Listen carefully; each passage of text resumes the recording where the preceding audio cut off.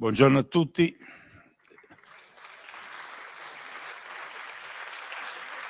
Grazie, grazie veramente.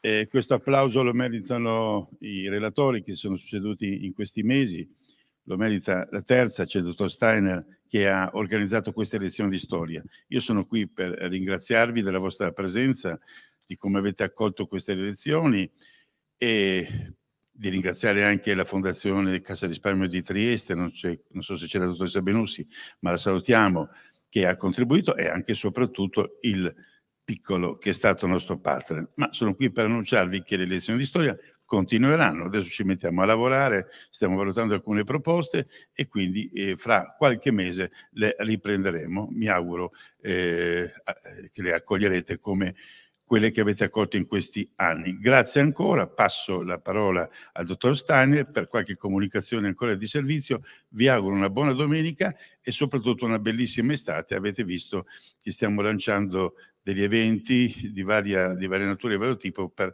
un po' riprendere quella che è stata la vita normale di questa straordinaria città che in questo periodo ha un'enorme occasione di sviluppo. Grazie a tutti e buona giornata.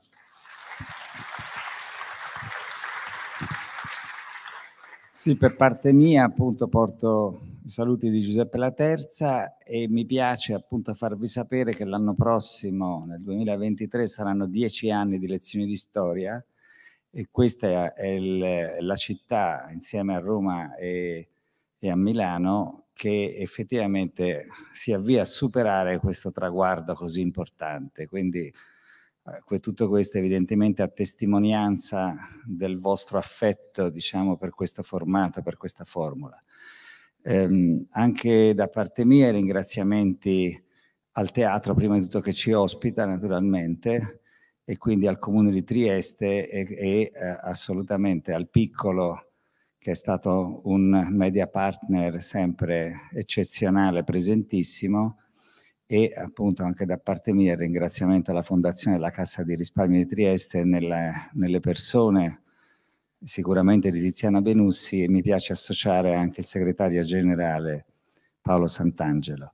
Eh, grazie molte per essere qui anche in questa giornata di sole che forse inviterebbe a una bella passeggiata a Barcola e niente buona lezione anche da parte mia. Ciao ragazzi, grazie.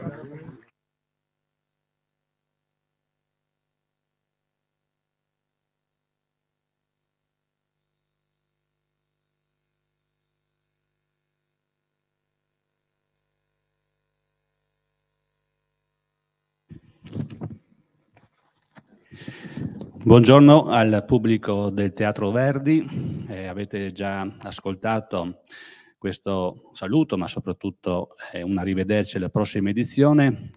Si diceva fuori splende il sole, ma anche in questo teatro sta per splendere il sole, il sole della sapienza del professor Luciano Canfora, che davvero non ha bisogno di presentazioni, che ci parlerà della rivoluzione giacobina con questa parola rivoluzione che scandisce la storia degli uomini e quella giacobina in particolare ha molto lasciato nell'eredità eh, anche nostra, del nostro tempo, della nostra epoca, ma appunto proprio per questo vale proprio la pena rifletterci e sentire quello che ci insegnerà il professor Canfora. Grazie, buongiorno professore, a lei.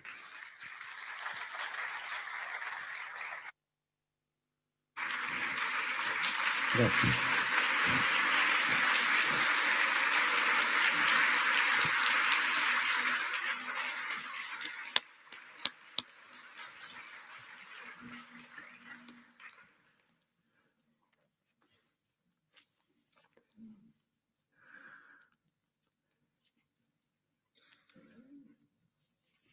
Il tema eh, che ora è stato ricordato, rivoluzione giacobina, ri, si inquadra nel ciclo più generale la presa del potere. E effettivamente l'episodio eh, al quale faremo poi riferimento in modo puntuale è la nascita eh, a cavallo tra maggio e giugno del 1793 del breve e intenso periodo del governo eh, giacobino. Potremmo dire in grande sintesi che il culmine della vicenda su cui ci concentriamo è un episodio drammatico, e cioè eh, una lunga seduta eh, della Convenzione nazionale, no, del Parlamento elett- entrato in carica il 20 settembre del 92, il 1792, una lunga seduta eh, durata eh, dal 31 marzo al 2 giugno del 93 che si conclude in modo traumatico con l'arresto e la fuga di una parte eh, dei parlamentari, cioè di una ventina, 22 per l'esattezza, eh, deputati eh, girondini. E a quel punto in, comincia, a inizio, la prevalenza eh, della parte eh, giacobina, dello schieramento politico molto variegato eh, che è al vertice della neonata Repubblica, periodo che è contrassegnato da vicende interne ed esterne particolarmente importanti e controverse anche nel loro svolgimento. Ma per parlare di quella vicenda, sulla quale la storiografia ancora oggi si divide in maniera molto accesa, ma la storiografia sulla rivoluzione francese, se vogliamo, è un continuo ripensare quegli avvenimenti alla luce di quel che accade nel tempo successivo.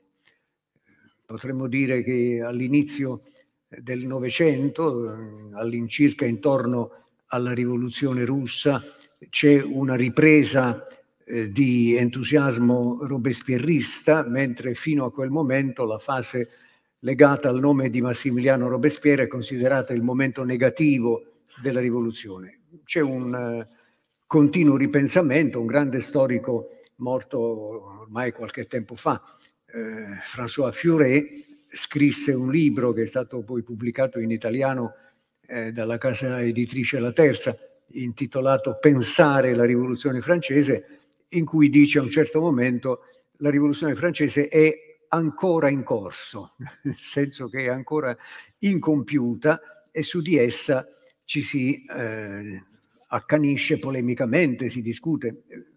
Prima di lasciare questo breve cenno molto superficiale storiografico, mi piace ricordare un episodio, potremmo dire spiritoso, divertente, quando molti anni addietro fu chiesto ad un grande politico cinese, che era allora il ministro degli esteri della Repubblica Popolare Cinese, si chiamava Chu En Lai, un suo giudizio sulla rivoluzione francese.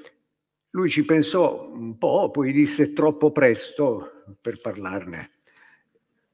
E non era totalmente, eh, come dire, incongrua questa risposta, alla luce anche del continuo ripensamento e mutamento di orizzonte della storiografia. Ma veniamo al nostro episodio in cui, ripeto, il concetto di presa del potere significa breve ma significativa presa del potere da parte della fazione partito nell'89 e avrà una serie di eh, mutazioni fino a sfociare nell'esperienza bonapartista, no? nell'impero e poi nel crollo dell'impero, una restaurazione con il ritorno del re, il fratello del re decapitato il gennaio 93, Luigi XVIII, che non è una pura e semplice restaurazione, ma comunque tenta di riproporre in forme ormai aggiornate l'ancien regime. Insomma, 25 anni, per considerare il ciclo nel suo insieme,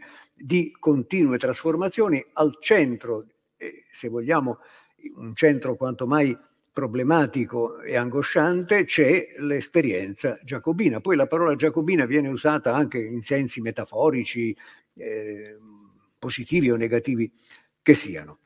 Quali sono gli antefatti? Perché non, nulla accade dal nulla, come sappiamo, anche l'esperienza nostra quotidiana ce lo insegna.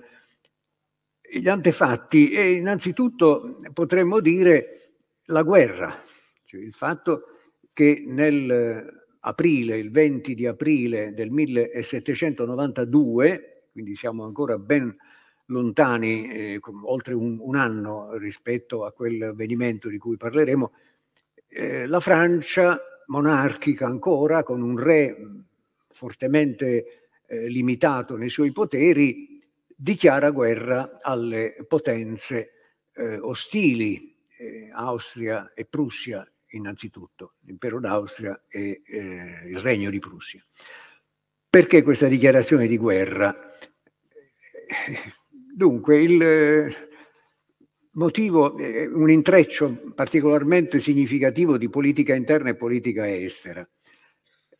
Il re Luigi XVI, di cui vediamo la prima immagine eh, in un quadro, diciamo, ufficiale, non era certamente un grande sovrano, eh, ha finito male i suoi giorni ed era un mediocre personaggio, un mediocre personaggio tallonato dagli avvenimenti, ha dovuto accettare malvolentieri eh, la Costituzione del 91, quella sortita dall'Assemblea Costituente che si era autoproclamata dopo il 14 luglio dell'89 ha dovuto giurare fedeltà alla Costituzione, una Costituzione, quella del 1791, che si apre con la Dichiarazione dei diritti dell'uomo, eh, con una frase impegnativa, eh, ancora oggi diciamo inapplicata.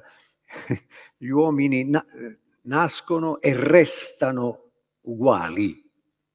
È un programma straordinario, ma straordinariamente lontano da, dalla realtà effettuale. È una frase tipicamente russoiana, perché molti di questi uomini avevano una cultura, una formazione eh, fatta sugli scritti fondamentali di un grande personaggio come Rousseau, che comunque era morto ben prima che la rivoluzione incominciasse. Quindi il re ha continuato ad accettare eh, questi, queste trasformazioni, queste eh, pressioni, questi colpi di mano veri e propri, eh, fugge, tenta di fuggire, la celebre e infamante fuga di Varennes, dove, di Varennes nel senso che a Varennes viene scoperto, travestito e riportato a Parigi, cosa che ovviamente deprime l'autorità regale fino ai minimi termini, e si considera di fatto un re prigioniero, eh, cerca di risiedere a Versailles per non stare proprio nel cuore della rivoluzione a Parigi e però viene riportato a Parigi con la forza. Eh, I sovrani, eh, l'imperatore d'Austria, il re di Prussia, ma soprattutto l'imperatore d'Austria, che in quel momento si chiamava Leopoldo II, eh, francofobo, ostile alla Francia come tale, anche se poi una principessa austriaca era moglie di Luigi XVI, eh, ma poi particolarmente francofobo eh, dopo gli avvenimenti della rivoluzione, che avevano entusiasmato alcuni aristocratici fuori della Francia. No? Pensiamo a Vittorio Alfieri che si precipita a Parigi, scrive un'ode, Parigi sbastigliata, poi scappa dalla Francia convinto che la marmaglia che ha preso il potere sia detestabile, insomma gli aristocratici hanno qualche problema ad adattarsi ai cambiamenti. E questi sovrani eh, minacciano di voler liberare il re.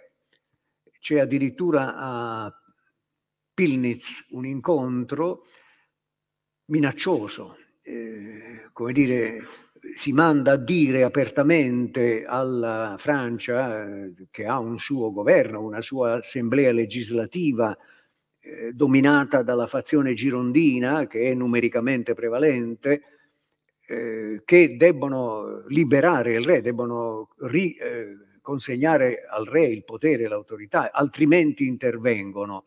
Quindi una minaccia esterna.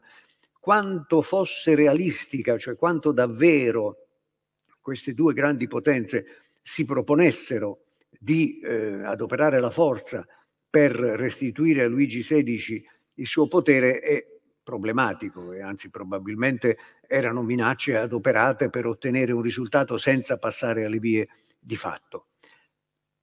Per converso, all'interno della Francia, che è ancora monarchica, ripeto, ed ha un re dimidiato, un governo eh, assembleare eh, l'Assemblea legislativa è stata eletta dopo il varo della Costituzione, i giacobini non ne fanno parte, Robespierre non si fece eh, eleggere all'Assemblea legislativa, un, un governo eh, assembleare appunto in cui i girandini prevalgono e figure moderate ma autorevoli come eh, Lafayette, per esempio, che si era illustrato nella guerra d'indipendenza americana contro l'Inghilterra, era tornato in Francia con un'aureola eroica e aveva appoggiato i primi passi della rivoluzione. Ecco, questi moderati eh, sono convinti che eh, la guerra all'esterno potrebbe rafforzare la monarchia e quindi caldeggiano un intervento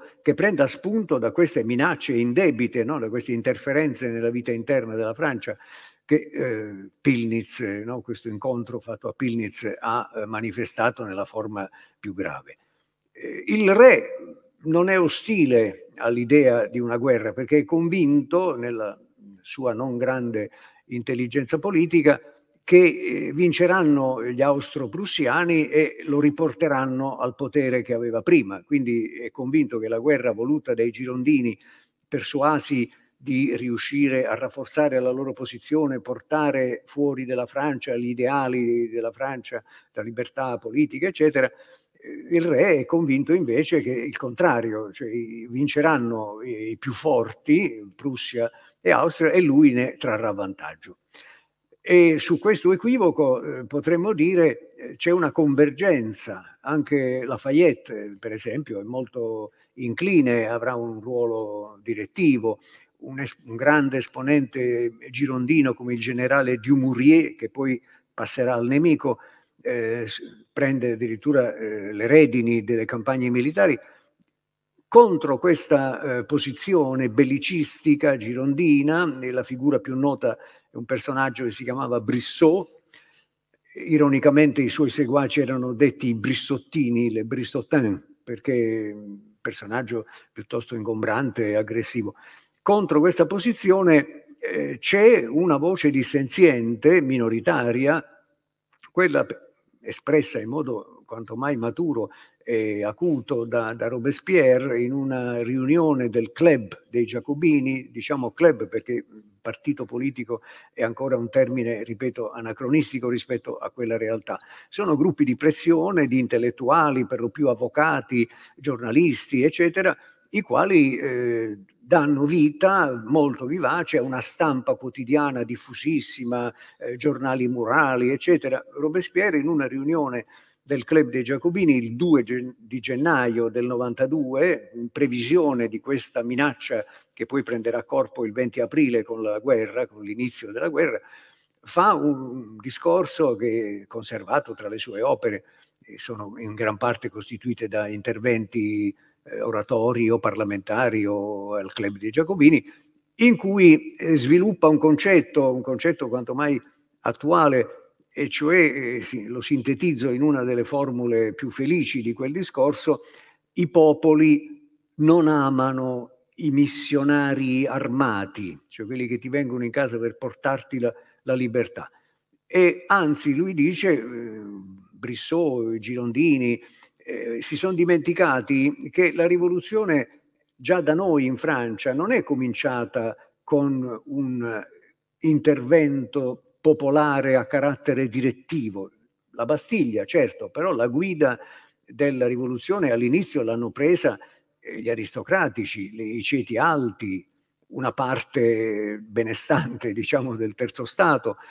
E nei paesi che noi ora vogliamo invadere per portare la libertà, eh, le classi alte sono ostili alle nostre idealità, quindi è un errore colossale e pericoloso dal punto di vista militare, ma pericoloso anche per gli equilibri politici interni della Francia. Ciò non toglie che la guerra eh, esplode, incomincia, ripeto, il 20 di aprile e ben presto le cose vanno molto male sul piano militare anche per la impreparazione sostanzialmente della Francia che non ha ancora un esercito popolare di massa come sarà eh, nel, nei mesi del governo giacobino e come sarà poi con Bonaparte. L'arte militare moderna è frutto appunto della rivoluzione francese, la coscrizione di massa non più gli eserciti di mestiere mh, aristocratici. E nel mentre che si produce questa eh, avventura sbagliata, questa avventura pericolosa di attaccare una guerra e cominciare a perderla, eh, la situazione interna della Francia, in concomitanza con le sconfitte e le minacce crescenti dall'esterno, precipita. Eh, nel frattempo il re, eh, che teme gli sviluppi di questo conflitto, ha eh, preso un'iniziativa particolarmente grave, cioè quella di far convergere intorno al eh, Tuileries, al grande complesso dove ora c'è il Louvre, no? che era la sede, la, la, la reggia eh, a Parigi, parallela a quella di Versailles, fa convergere delle truppe sue fedelissime, non francesi ma svizzere, il che viene percepito dal comune di Parigi, esiste questa realtà eh, territoriale molto importante, il comune diviso in sezioni, ben 47 sezioni della città di Parigi, viene presa questa scelta di far venire truppe scelte e non francesi a difendere il trono come una provocazione per cui in breve si arriva eh, attraverso varie vicende molto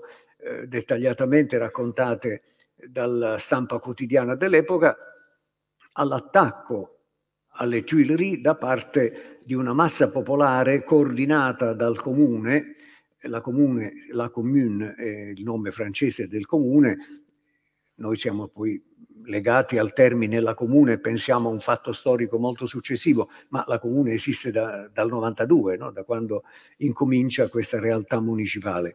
E l'attacco popolare massiccio e anche sanguinoso per le truppe svizzere che cercano di frenare questo assalto porta il 10 agosto del 92 all'arresto del re.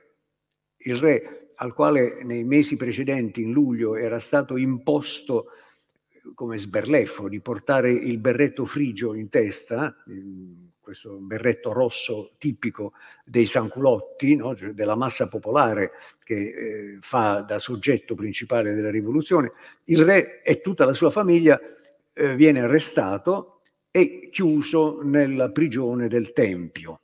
A quel punto c'è un uh, vuoto di potere, potremmo dire, nel senso che il capo dello Stato non c'è più, è privato dei suoi poteri, detenuto in, in attesa di processo, accusato di tradimento, perché è, è, noto quanto lui e i suoi collaboratori più stretti, eh, attraverso i legami familiari, abbia tramato per ottenere la sconfitta della Francia da parte dei paesi cui la Francia ha dichiarato guerra.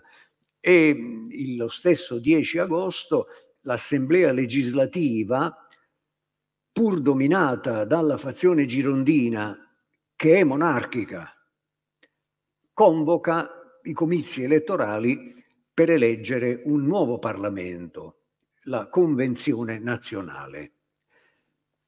E in sostanza si suicida l'Assemblea la, legislativa nel momento in cui, cessando l'assetto statuale facente capo al re, dà l'avvio ad un ordinamento diverso che sarà ben presto repubblicano, anche se non è stato ancora proclamato come tale. Periodo in cui avvengono queste, eh, questi comizi elettorali fra il 10 di agosto e il 20 settembre, è un periodo particolarmente agitato e traumatico. Fra l'altro noi parliamo di elezioni, del fatto che un corpo elettorale elegga dei suoi rappresentanti, però dobbiamo tener conto della realtà fattuale. Poco dopo l'arresto del re, la Vandea, questa area eh, del nord-ovest della Francia, eh, legatissima alla monarchia, è tuttora molto legata al clero conservatore e quindi ostile a quella parte del clero che invece ha accettato la rivoluzione. No? C'è un, un vero e proprio scisma all'interno della Chiesa francese a partire dall'89. Eh, la Vandea si ribella, la Vandea, eh, migliaia e migliaia di contadini vandeani si armano per contrastare la deriva antimonarchica ormai giunta a compimento e ben presto vengono armati dall'Inghilterra, l'Inghilterra liberale, fra l'altro è di fronte alla, alla Vandea, c'è di mezzo la Manica, eh, è allarmatissima degli sviluppi francesi, molto più se vogliamo de, dell'Austria e della Prussia, il principale soggetto eh, che sollecita la ribellione vandeana, che la arma, la rifornisce di armi, eh, che in, inonda il mercato francese di moneta falsa per provocare l'inflazione e il disastro economico, è l'Inghilterra liberale. Il sud della Francia è in eh, ebollizione perché eh, teme il centralismo di Parigi e propugna invece una soluzione federalista.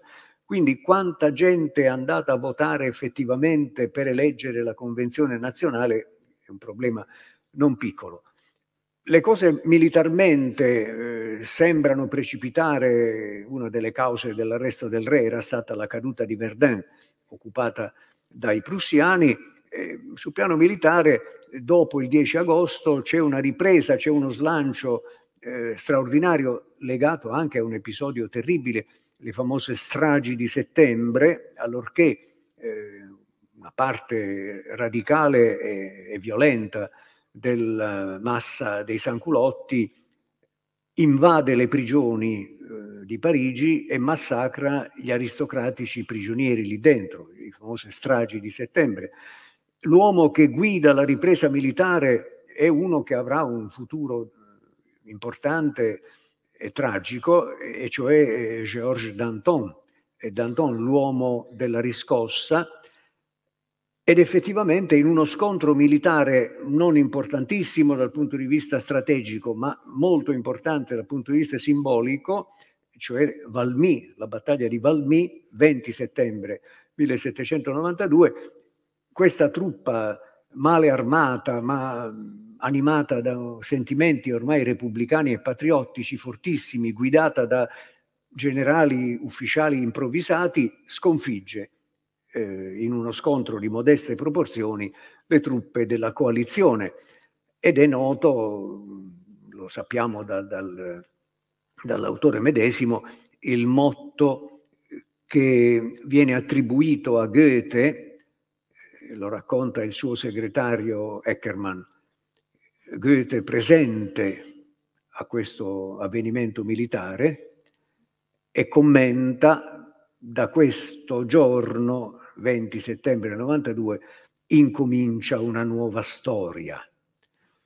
E siccome non è male ricordare um, anche un testo nostro della letteratura italiana, dimenticatissimo temo nella prassi scolastica, eh, cioè il ciclo di sonetti di Giosuè Carducci eh, sulla rivoluzione francese intitolato Sa ira, no? che era il nome di una canzone rivoluzionaria. Ecco, l'ultimo sonetto del Sa ira che riguarda per l'appunto la battaglia di Valmy, sonetti molto efficaci, peraltro eh, molto contestati da parte clericale conservatrice. No? Carducci fu accusato di essere un terrorista per aver esaltato la rivoluzione in quei sonetti. L'ultimo di essi si conclude per l'appunto con le parole di Goethe. Sconosciuto esce Wolfango Goethe dicendo oggi da questo luogo incomincia la novella storia ed è il giorno in cui la Convenzione nazionale si insedia e proclama la Repubblica.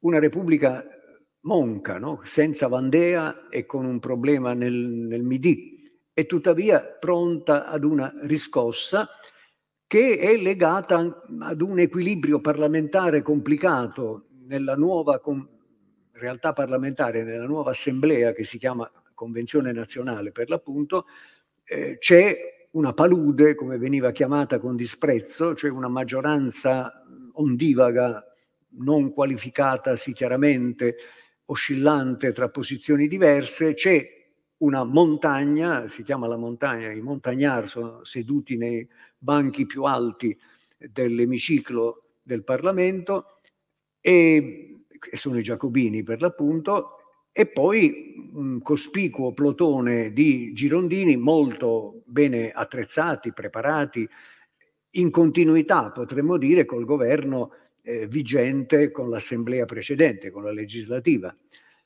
Ma nel contempo, dopo il 10 agosto, e questo è il punto eh, forse focale in tutta questa storia, dopo il 10 agosto la comune, cioè la municipalità di Parigi, potenzia la sua azione di contropotere rispetto all'assemblea eletta. E le sezioni, le, le, le, tantissime, le 47 sezioni in cui sono suddivisi eh, i quartieri della città e hanno dei nomi anche talvolta eh, così un po' retorici, intitolati a eroi della Repubblica Romana, Bruto, il Cesaricida, eccetera, e si contrappone, vigila sulla tenuta delle conquiste rivoluzionarie ancora in bilico, rendendosi conto del fatto che ai girondini questo contropotere della comune non piace affatto, vorrebbero ridimensionarlo, disciplinarlo, ridimensionarlo dentro poteri molto limitati, mentre invece eh, la spinta che viene dal, dai sanculotti che si iscrivono alle sezioni, cioè fanno politica tutti i giorni, vanno in queste sezioni, discutono, si accapigliano, pretendono, revocano, chiedono. In questa, in questa bolgia, potremmo dire, di entusiasmo, eh, di, di, di, slancio rivoluzionario, di desiderio di cambiamento, si fanno strada eh, richieste sociali molto importanti. Eh, c'è una parte estrema, potremmo dire, ancora più radicale, che non si riunisce alla comune, si riunisce al vescovado di Parigi e quelli del vescovado sono quelli che mettono subito sul tappeto il problema del calmiere sui prezzi, il pane non deve costare più di due soldi e mezzo e se questo crea un problema alle finanze dello Stato si tassano radicalmente tutti i nobili e i benestanti. Quindi il conflitto sociale accompagna, potremmo dire, sorregge la nascita della Repubblica e trova la sua espressione nel contropotere, cioè nelle sezioni, nella comune, nel vescovado, che vengono contestati più o meno radicalmente dalla maggioranza della convenzione che nomina una commissione di 12 persone, la commissione dei 12, il cui compito è sostanzialmente di neutralizzare il contropotere Sanculotto, il contropotere della comune. Ed è su questo che si produce il conflitto, che viene a maturazione eh, il, direi anche dal punto di vista fisico de, della dislocazione dei soggetti in lotta.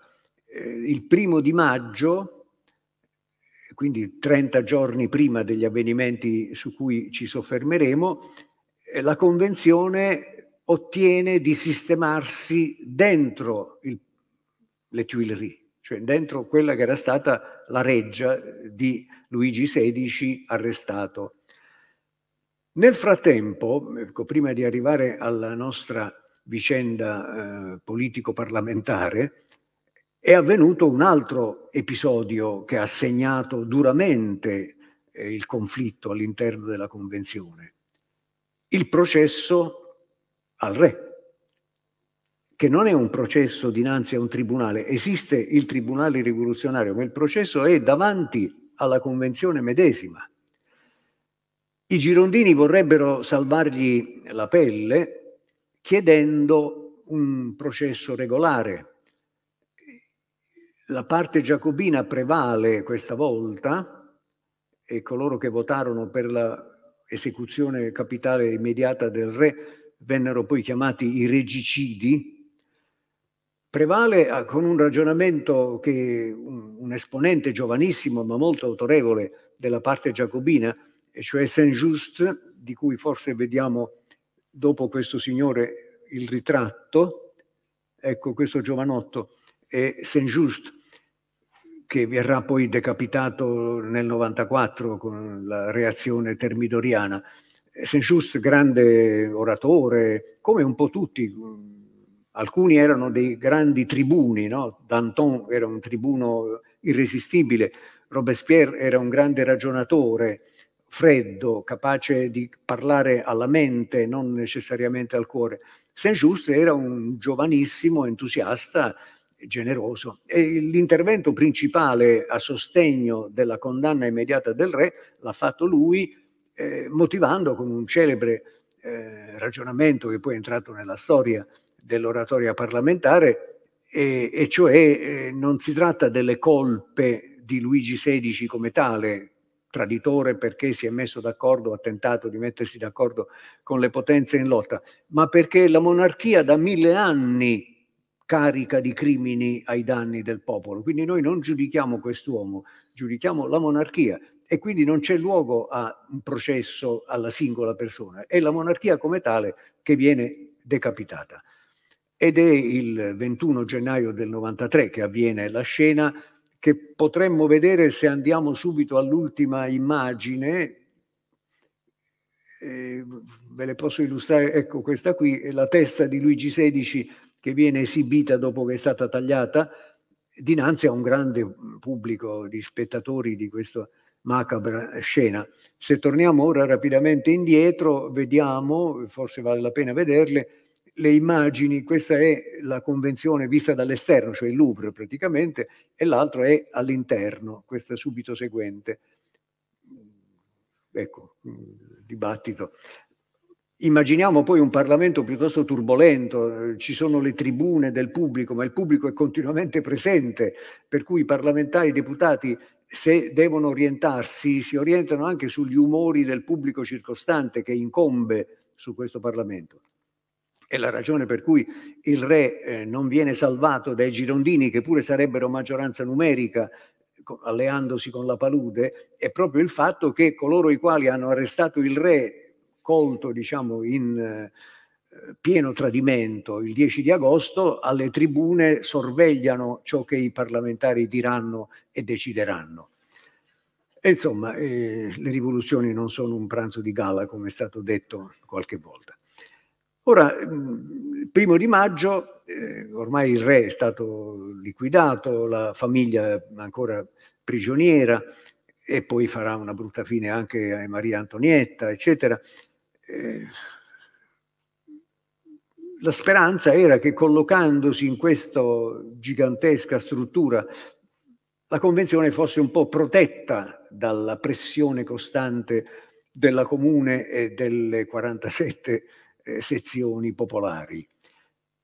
Passo falso è la nomina della commissione dei 12, perché la commissione dei 12 eh, deve ridimensionare il potere e soprattutto dare una intende dare una risposta negativa alle richieste sociali molto pressanti che il, ehm, la Saint-Culoterie ha prospettato, eh, il, il pane a tre soldi, il congedo di tutti i nobili con gradi superiori nell'esercito, la creazione di officine belliche per armare i sanculotti, armata popolare, epurazione da tutte le amministrazioni dei sospetti, l'arresto dei sospetti, diritto di voto riservato soltanto ai sanculotti. Cioè l'idea che si fa strada, molto radicale, è quella che il diritto di voto non si dà indiscriminatamente a tutti. D'altra parte già con la legislativa si era aperta una discussione cittadino attivo, cittadino passivo. Questo è un problema diciamo, che attraversa la storia dei regimi rappresentativi, se voi pensate che per tantissimo tempo nell'Europa liberale il diritto di voto era ristretto. Nel nostro paese, dopo l'unità d'Italia, eh, vota l'1-2% della popolazione sulla base del censo, sulla base dell'alfabetizzazione. Quindi il voto ristretto, il limitare il diritto di voto è una delle armi fondamentali del conflitto. In questo caso viene capovolto il criterio della ricchezza e competenza. Il diritto di voto riservato soltanto a quelli che sono dalla parte perdente dal punto di vista sociale, quelli che in Francia all'epoca vengono chiamati per l'appunto sanculotti. È una provocazione dare a questa commissione il compito di liquidare questo problema del contropotere popolare ed è per questo che il 31 di maggio le sezioni si mobilitano, portano un cannone davanti alla convenzione e assediano una massa sterminata di persone, assedia il Parlamento, capeggiata da un signore che si chiamava Henriot, eh, che era un popolano molto autorevole nelle sezioni, eh, dipinto in modo sinistro dalla pubblicistica e poi dalla storiografia eh, conservatrice, moderata, eccetera, e invece raffigurato come un eroe in una piccola pubblicazione molto sintomatica che viene diffusa subito dopo i fatti, eh, firmata non a caso dal sindaco della città, che si chiamava Pash, il quale rappresentava la comune per l'appunto e ha diffuso in tutti i dipartimenti dove riuscivano ad arrivare queste pubblicazioni il racconto della vicenda. L'assedio dunque della convenzione. E la convenzione è riunita ma non può uscire dalla sua sede proprio perché è accerchiata e la richiesta che eh, gli assedianti pongono è molto radicale, non soltanto la cancellazione della commissione dei 12, ma la decadenza di 22 deputati girondini, i più esposti, diciamo così, nella campagna contro eh, la comune. La convenzione viene quindi chiamata ad affrontare un problema per la prima volta, diciamo, nella storia parlamentare non lunghissima della rivoluzione, e cioè un una parte del Parlamento che condanna l'altra parte, sotto la spinta di una richiesta che viene dal basso, cioè dagli elettori che hanno portato quegli uomini alla sede in cui attualmente si trovano. E ovviamente questo trova resistenze. Eh, le narrazioni della vicenda eh, sono oscillanti, come potete ben capire, ma io vorrei focalizzare eh, il racconto non soltanto sulla dinamica, la dinamica è molto semplice, ma anche sul modo in cui post eventum venne eh, ricostruita. La dinamica è piuttosto semplice, eh, dura 48 ore sostanzialmente perché l'epilogo è il 2 giugno, eh, comincia il 31 di maggio. Eh, la proposta che viene fatta viene fatta da Danton, che in certo senso è una figura dominante in quel momento, e che non si può non ascoltare il popolo. Quindi quello che ci viene richiesto non è una forzatura perché la nostra autorità eh, promana dal popolo. l'obiezione è che questa è una forzatura contro gli eletti, ma a pensarci bene sotto questa disputa non teorica ma drammaticamente pratica c'è una eh, doppia visione del eh, fenomeno del Parlamento, del parlamentarismo. Alcuni di questi uomini, come ho detto prima, erano, si erano formati sugli scritti di Rousseau, teorico della volonté générale. E Rousseau in un celebre suo testo aveva scritto in modo molto radicale, il popolo inglese ha il diritto di voto, va a votare, il giorno dopo ridiventa schiavo, cioè ha delegato il suo potere agli eletti ed esce di scena. E lo diceva in senso critico, naturalmente. Cioè sotto questa discussione c'è il problema che ritorna nelle varie rivoluzioni del vincolo di mandato.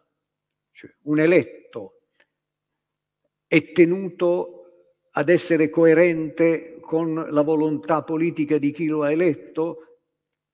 E certamente avete in mente l'articolo 67 della nostra Costituzione che fu oggetto di una discussione non, non breve, molto significativa quando fu alla fine varato, articolo eh, in cui si accetta la tesi opposta, cioè ogni parlamentare rappresenta l'intera nazione senza vincolo di mandato. E alcuni a suo tempo, nella nostra Costituente nel 1946-47, obiettarono prevedendo quello che noi vediamo oggi, cioè la trasmigrazione di massa di parlamentari da un partito all'altro, in quanto non hanno vincolo di mandato. E la situazione del 31 maggio 2 giugno 1793, esattamente quella in cui gli elettori pretendono che questo vincolo funzioni. Vi abbiamo eletti dopo la caduta del re, cacciato dalle sezioni parigine e voi volete neutralizzare, mettere fuori gioco le sezioni parigine. Noi vi revochiamo. Insomma, la battaglia è su quel punto. E la proposta che fa per un parlamentare eh, schierato con i Montagnard, con i Giacobini, che si chiamava Barrère, è una proposta che viene accolta. Nel frattempo il presidente dell'Assemblea si sente male, subentra un altro, si chiamava Hérode Seychelles, piuttosto debole di carattere. La proposta è andiamo incontro al popolo, usciamo dalla sede del, della convenzione e dialoghiamo. Quindi una parte dei parlamentari, alcuni restano nel, nella sede del Parlamento, si mettono in fila, attraversano i giardini del, delle Tuileries. Chi ha presente il Louvre ha presente che c'è questa enorme spiazza, eh, spiazzo con grande... Eh, alla fine di questa grande area c'è il, il Carousel, cioè un luogo dove era piazzato il cannone che rivolto sulla convenzione.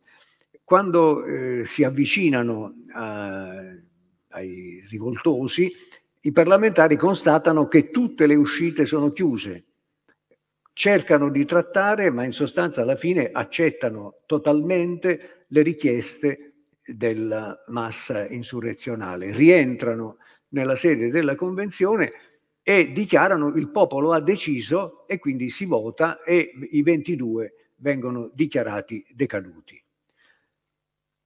Ho detto Barrère, no? Bertrand Barrère, eh, personaggio singolare, eh, molto giovane anche lui, come tutti, d'altra parte questi i leader della rivoluzione erano per lo più poco più che trentenni. È venuto fuori dopo tanti anni, ricerche d'archivio, che quest'uomo era un agente inglese, cioè personaggio di, come spesso accade nei, processi rivoluzionari, che opera all'interno per conto di una potenza opposta. Il libro in questione di un signore che si chiama Olivier Blanc, intitolato Gli uomini di Londra, Les hommes de Londres, cioè gli uomini che Londra, che sta cercando di soffocare la rivoluzione in tutti i modi, armando i vandeani, eh, rovinando l'economia francese, aiutando la coalizione, infiltrando persone all'interno della rivoluzione medesima, gli uomini di Londra eh, fanno un doppio gioco. Barrera è passato alla storia come l'anacreonte della ghigliottina, cioè uno che mandava alla ghigliottina le persone con levitas, senza darsene chissà quale angoscioso pensiero. E addirittura aveva formulato una proposta che non fu accettata per la sua enormità, cioè che i prigionieri di guerra inglesi, ove catturati appunto nel corso dei combattimenti della guerra tuttora in corso, andassero passati per le armi seduta stante in quanto inglesi. E se uno pensa che una spia inglese, direi che l'operazione è quasi perfetta. Nelle sue memorie, quest'uomo che è sopravvissuto, pur essendo stato regicida, anche lui è sopravvissuto fino al 1841, è vissuto, eh, nelle sue memorie racconta tutta questa vicenda eh, manipolando probabilmente i dati di fatto e additando in Robespierre e Marat i veri protagonisti, cioè coloro che avevano sollecitato Henriot e le sezioni ad assediare la convenzione. Probabilmente neanche Robespierre si aspettava eh, che invece eh, ci fosse questa stretta, tant'è vero che poi nel Comitato di Salute Pubblica che entra eh, in funzione in maniera quanto mai egemonica rispetto alla Convenzione, subito dopo il 2 giugno, lui non è presente. Il Comitato di Salute Pubblica è una sorta di governo straordinario della Francia ne fa parte Danton, è il personaggio più importante, Robespierre non c'è ancora, ci sarà dopo.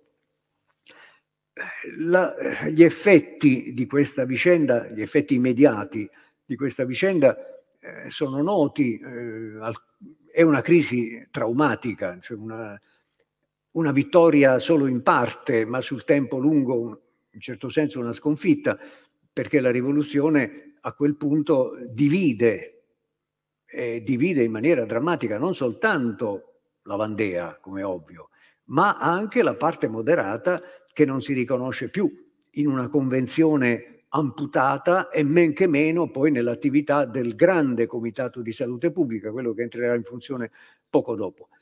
Eh, una parte di questi deputati girondini che si danno alla macchia eh, si rifugiano in Vandea ed è sintomatico il fatto che uno di loro sia stato colui che ha armato Charlotte Corday che va a Parigi ad ammazzare Marat, un famoso quadro di, di, David che tutti ricordiamo, in cui c'è Marat nella vasca da bagno perché aveva una malattia della pelle per cui doveva spesso mettersi in acqua, che viene raggiunto con l'inganno da questa vandeana fanatica, monarchica, eh, che finge di venire da lui per denunciare complotti monarchici in Vandea e appena al suo cospetto lo uccide, lo, lo pugnala. È stata spinta a questo dal suo fanatismo naturalmente, ma anche dalla sollecitazione di questi girondini ormai passati apertamente al versante monarchico. Sul piano militare le cose vanno meglio perché la mobilitazione generale, l'esercito di popolo che viene eh, creato dalla Repubblica appena nata è, è, in grado di contrastare questi arcaici eserciti di mestiere, sia pure molto bene armati, delle potenze ostili. Ma il periodo della dittatura giacobina, come viene chiamato, durerà poco. E si dice dittatura giacobina e la frase spesso viene usata in maniera eh, approssimativa, metaforica, eh, ha un senso preciso, in quanto c'è la guerra, in quanto la guerra prosegue e per fortuna della Francia non continua ad andare a rotoli, ma si è invertita la tendenza, si sospendono tutte le garanzie costituzionali e il funzionamento stesso della Costituzione dell'anno primo che è, viene varata dalla Repubblica appena entrata in funzione. Una delle Costituzioni più illuminate, più aperte e più ricche di futuro nella storia del pensiero costituzionale moderno e che è rimasta lettera morta per una ragione eh, contingente. La guerra impedisce di far funzionare lo Stato come dovrebbe secondo norma, ma anche perché il governo eh, giacobino termina drammaticamente per un complotto bene orchestrato della parte moderata e anti-giacobina il 9 Termidoro del 1794, quindi dura pochi mesi, dura poco più di un anno complessivamente il governo della dittatura giacobina. Quel che accade dopo eh, è noto, in sostanza eh, si potrebbe dire che la sintesi del pensiero alternativo alla dittatura giacobina è nella formula dominante durante il periodo del Termidoro e poi del Direttorio, arricchitevi. Perché? Perché la dittatura giacobina è stata vista dalla borghesia francese, ormai convinta dei valori della rivoluzione dell'89, eccetera, come una minaccia sociale, come dire, vanno troppo avanti. Non a caso uomini che sono stati in prima fila come Dumouriez, generale, Lafayette, scappano e si rifugiano presso i prussiani, cioè, non vogliono più stare al gioco. Arricchitevi è il simbolo di una svolta moderata, eh, se vogliamo anche edonistica, alla quale porrà rimedio in maniera brutale l'esperienza bonapartista, cioè come ebbe a scrivere Gramsci in una pagina bellissima dei quaderni, la soluzione di compromesso quando c'è un conflitto a prospettiva catastrofica, perché non è che la richiesta popolare di giustizia sociale si è estinta perché è stato ghigliottinato Robespierre, Saint-Just, Couton, esiste perché esiste nella realtà. così come la reazione ostile alle richieste popolari più avanzate è altrettanto forte e oscilla tra un atteggiamento termidoriano e apertamente monarchico. E allora Bonaparte diventa il Cesare che supera entrambe le posizioni con quella escogitazione di, di, di lunga fortuna che è per l'appunto il cesarismo. Ultimo pensiero al quale vorrei dedicare pochi secondi Finisce lì l'esperienza giacobina o dura nel tempo? Ma potremmo dire, curiosamente, quando trent'anni dopo la restaurazione, 1848, nasce una seconda repubblica francese nel quadro di una generale rivoluzione europea, no? perché il 1848 è tutta Europa in rivoluzione, compresa l'Austria, compresa eh, la Germania, l'Inghilterra liberale sempre indenne da questo tipo di convulsioni, eh, i partiti politici che siedono nell'Assemblea nazionale che si insedia a Parigi nel febbraio del 1848 sono la montagna, cioè i nuovi giacobini, e la Gironda. E però c'è l'ombra di un nuovo Bonaparte, il terzo, Napoleone III, il quale dopo il conflitto, ancora una volta a prospettiva catastrofica, breve dal, 1948 al 51, crea il secondo impero, ma ci arriva attraverso un plebiscito travolgente nel, de, nel dicembre 1851 il suo antagonista è un generale, il generale Cavaignac, quello che ha massacrato eh, gli operai socialisti nel giugno del 48, figlio del Cavaignac che aveva votato per eh, processo al re, per l'esecuzione capitale, era un regicida.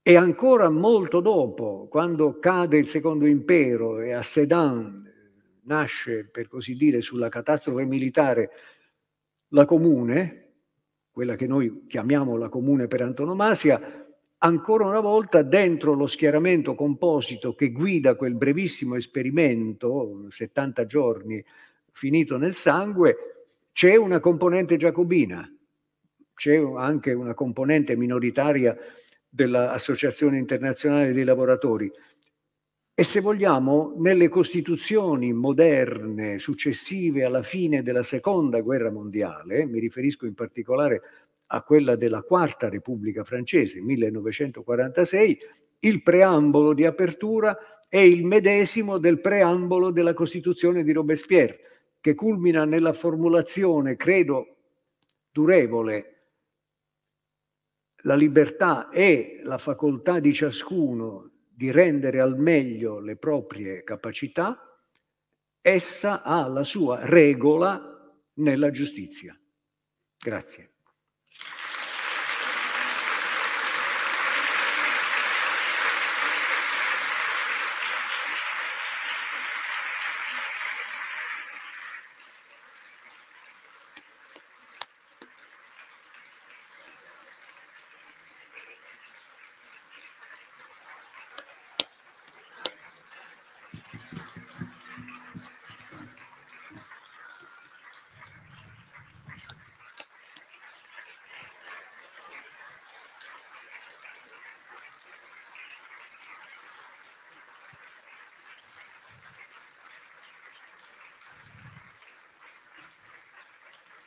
Professore, credo di interpretare il parere del pubblico che mi pare sia piuttosto evidente a trasmettere l'ammirazione per il suo intervento. Di cui sono grato. Eh, perché? Perché oltre al, alla parte storica è sempre molto interessante questa capacità del rimando all'attualità che ci circonda, ragionare sulla base dell'esperienza storica, delle lezioni di storia, a darci gli strumenti a noi per capire meglio anche il presente. Poi dipende da ciascuno di noi avere l'umiltà di imparare e dunque di osservare quello che ci circonda. Credo che un commiato per questa edizione eh, della, delle lezioni di storia non poteva essere migliore. Ancora grazie professore il piccolo, la Fondazione Ceriti, il Comune di Trieste e la Terza, ha fatto il giro a ritroso, danno sicuramente appuntamento alla prossima edizione. credo che la, mh, la fedeltà del pubblico, l'interesse del pubblico dimostrati in questi incontri siano un viatico per far sempre meglio sicuramente l'offerta culturale sarà ancora migliore. Grazie ancora professore per questa straordinaria Grazie. mattinata.